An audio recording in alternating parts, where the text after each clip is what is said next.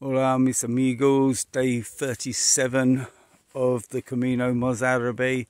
It is now October the 20th, 2020. I haven't blogged for a couple of days. Um, a lot of it was down to wind and things, but um, and there wasn't sort of a, a, great deal to report on. Now, um, back out into the countryside, mainly oak trees for the piggies just big open countryside here. A lot of the places are like um, the plains of Canada, really massive big areas. Anyway, over the last few days, um, I've stayed at some different sort of type places. Um, three or four days ago, I stayed in a motorway service station, a little hostel um, called El Avion. The reason it's named after an aeroplane is because apparently many years ago there was a plane crash there. So it's a little bit strange, but not, quite a decent little place. And from there, walked on um, mainly on roads through to a um, town called Baños de Montemayor. It's up in the mountains and it's an old Roman bath town and they've turned it into a, a spa town it's a bit like Bath in the UK, but it's in more in the mountains. Um, lovely place, wonderful. But trouble is, because of the COVID and all these restrictions, there's several hostels and hotels that do spa treatments and the like. That just shut down at the moment. Um, there must be half a dozen decent sized hotels that are all shut. Um, terrible. Um, Anyway, it's a great place to hike in. One of the sort of places I'd go back again when I get a chance. Hopefully, when the um, hotels are open, um, have a spa and bathe my little feeties. Um, so, looking forward to that at some stage. Then moved on from there to a town called Fuenterroble. There's another 30 odd K. Um, stayed in a sort of refuge made up by a priest. It, it's an albergue, but it's um, a very quirky place where some people stay and live and work. It's I'll send I'll post some pictures of it. Um, it's a bit more like a hippie commune, really. Everybody makes things, and it it's you pay for it by a donation. When we got there, there was me, and a couple of other pilgrims and things. Um, in there, not many. I think three or four people in there and you had two or three people that lived there. They, they show you around and they, they give you a handful of energy bars and stuff. I think they must think um, I needed them. I probably did. But stayed there overnight and put some money in the kitty box and uh, had a little bit of breakfast in the local cafe. Um, I know that's not that interesting, but that's what you do on this um, Camino, on all Caminos.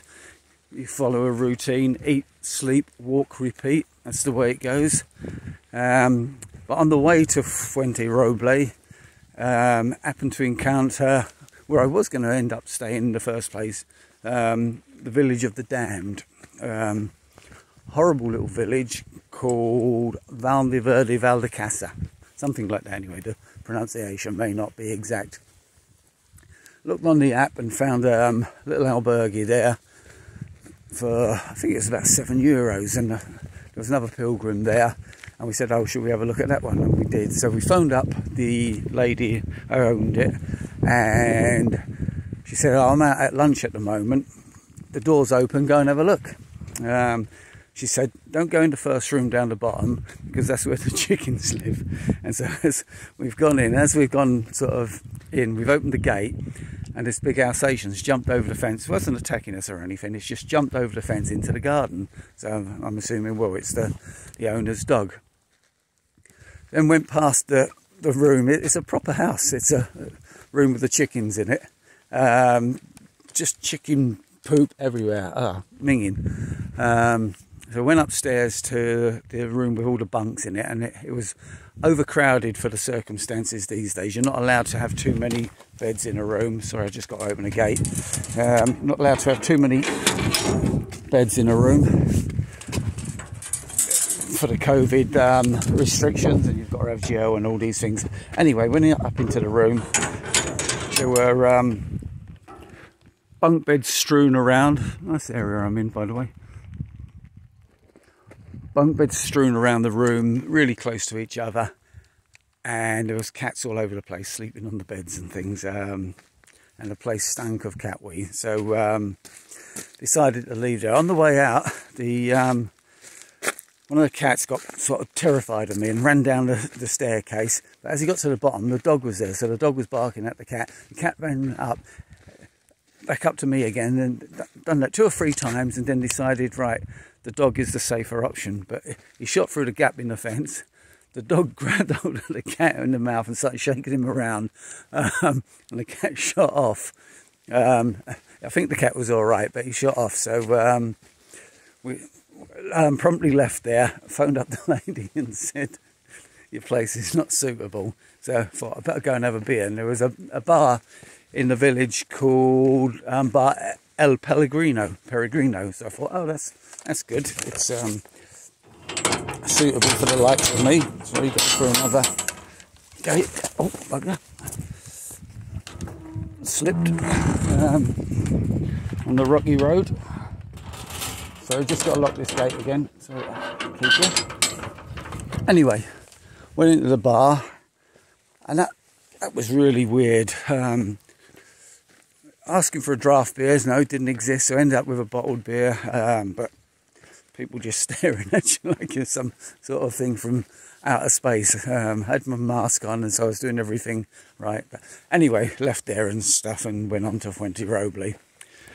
Um, stayed in a little albergue um, last night. Um, San Pedro. Um, it's quite decent. It's only seven euros, and I had a bite to eat in the um, the little host, hostel um, cafeteria, so that was okay. So this morning now, as you can see, it rained very heavy last night, so I've got the waterproofs on. It's only a light drizzle at the moment, and um, on the way to um, Salamanca.